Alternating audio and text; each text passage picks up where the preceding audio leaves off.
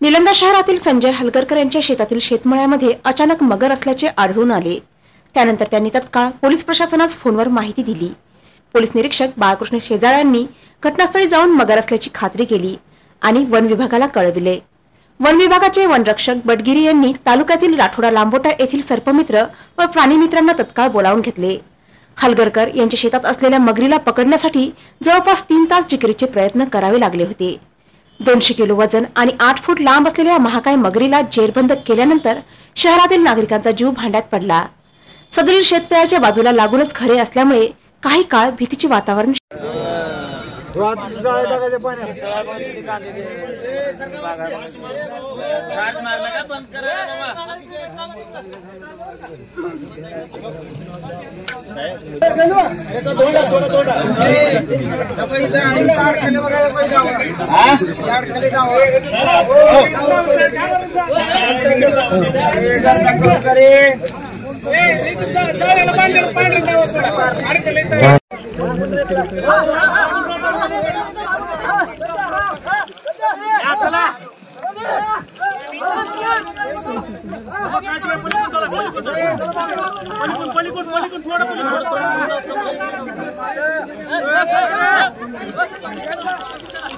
हो?